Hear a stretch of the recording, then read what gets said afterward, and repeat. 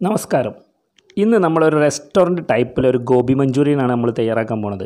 നമ്മൾ ഈ റെസ്റ്റോറന്റ് എന്നൊക്കെ വാങ്ങുമ്പോൾ ആയിരിക്കും നമുക്കും വീട്ടിൽ അതേമാതിരി ഉണ്ടാക്കണമെന്ന് പക്ഷേ അവരൊക്കെ കൂടുതൽ സോസുകളും കാര്യങ്ങളൊക്കെ ഉപയോഗിച്ചിട്ട് ഉണ്ടാക്കുന്ന ഒരു ഗോബി മഞ്ചൂരിയനാണ്.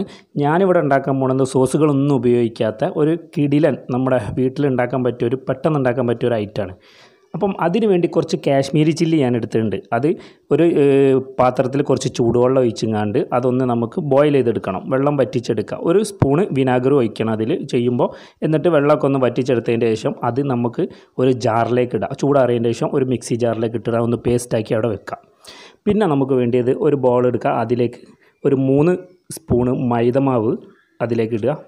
പിന്നെ ഒരു സ്പൂണ് കടലമാവ് പിന്നെ രണ്ട് സ്പൂണ് കോൺഫ്ലവർ ഇനി കടലമാവ് അതിൽ ഉപയോഗിക്കുകയാണ് സ്കിപ്പ് ചെയ്യേണ്ടവർക്ക് സ്കിപ്പ് ചെയ്യാം കേട്ടോ പിന്നെ ഒരു സ്പൂണ് അരിപ്പൊടിയും അതിലിട്ട് പാകത്തിന് ഉപ്പും അതിൽ ആഡ് ചെയ്തിട്ട് പിന്നെ നമ്മൾ അരച്ച് വെച്ച നമ്മളിപ്പോൾ മിക്സ് ജാറിലിട്ടിട്ട് പേസ്റ്റാക്കി വെച്ച കാശ്മീരി ചില്ലി ഒരു സ്പൂൺ ഉപയോഗിക്കുക. അതിലേക്ക് ബാക്കി നമുക്ക് എടുത്ത് വെക്കാം.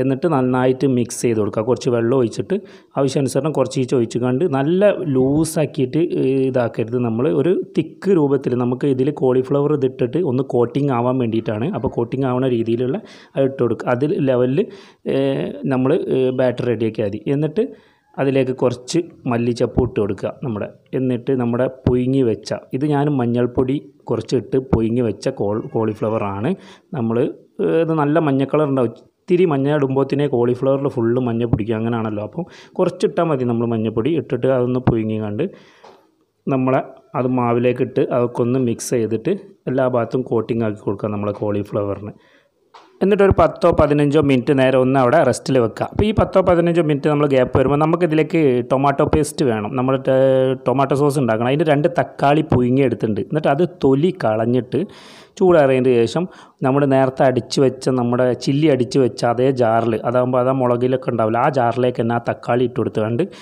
അടിച്ചെടുക്കുക ഒന്ന് പേസ്റ്റാക്കി അവിടെ മാറ്റി വെക്കാം. അപ്പോൾ ഇതിന് നമ്മളെ കോളിഫ്ലവറൊക്കെ നല്ല ഉപ്പ് പിടിച്ച് അതിന് മസാലയൊക്കെ പിടിച്ചിട്ടുണ്ടാവും. അതൊരു പാനിൽ കുറച്ച് വെളിച്ചെണ്ണ ഒഴിച്ചങ്ങാണ്ട് അത് നമുക്കൊന്ന് ഫ്രൈ ചെയ്തെടുക്കണം.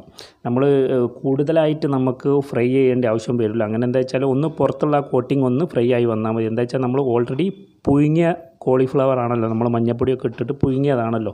ഉപ്പ് മഞ്ഞപ്പൊടി ഇട്ട് പുഴുങ്ങിയ സാധനമാണ്. അപ്പം ആ മേലുള്ള കോട്ടിംഗ് ഉണ്ടല്ലോ നമ്മൾ തേച്ച. ആ മാവിനൊന്നൊരു ഫ്രൈ ക്രിസ്പിനെസ് കിട്ടണം. അത് അത്ര ഫ്രൈ ചെയ്താൽ മതി.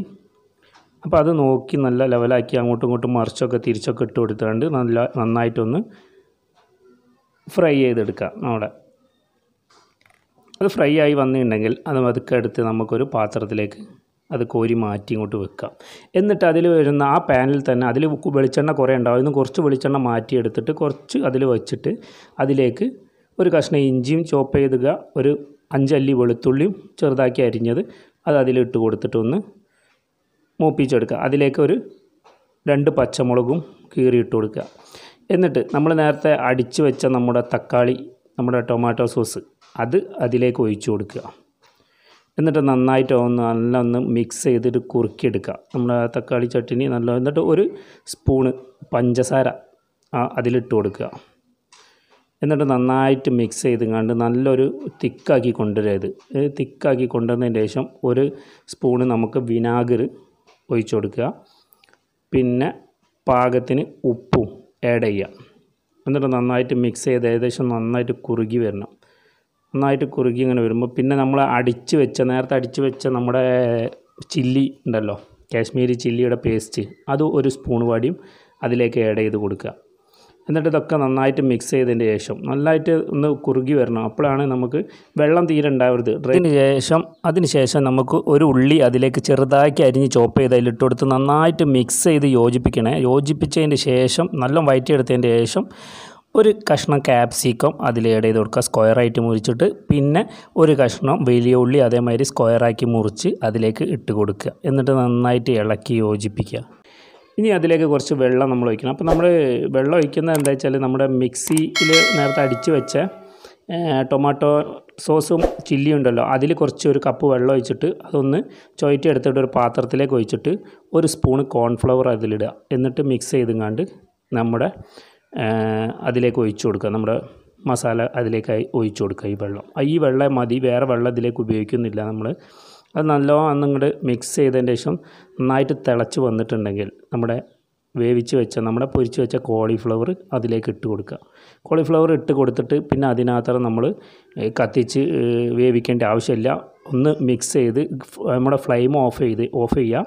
എന്നിട്ട് നന്നായിട്ട് ഇതൊന്ന് മിക്സ് ചെയ്ത് കൊടുക്കുക. നന്നായിട്ട് മിക്സ് ചെയ്തതിന് ശേഷം അതിലേക്ക് സ്പ്രിംഗ് ഒനിയൻ ഉണ്ടെങ്കിൽ കുറച്ച് സ്പ്രിംഗ് ഒനിയൻ ഇട്ട് കൊടുക്കുക. എന്റെ കയ്യിൽ സ്പ്രിംഗ് ഒനിയൻ ഇല്ല അപ്പോൾ ഞാൻ മല്ലിച്ചപ്പ് ഇട്ട് കൊടുത്ത് നമ്മുടെ അത് ഇട്ട് കൊടുത്തു കഴിഞ്ഞാൽ നമ്മുടെ കോളിഫ്ലവർ ഇവിടെ റെഡിയായി ഗോബി മഞ്ചൂരിയൻ അപ്പം നിങ്ങൾ എല്ലാവരും ഒന്ന് ട്രൈ ചെയ്ത് നോക്കുക അടിപൊളി ടേസ്റ്റാണ് അപ്പം റെസ്റ്റോറന്റ് സ്റ്റൈലിലുള്ള ഒരു അടിപൊളി ഐറ്റാണെന്ന് പറഞ്ഞുകൊണ്ട് ബൈ ഫ്രം ഫുഡ്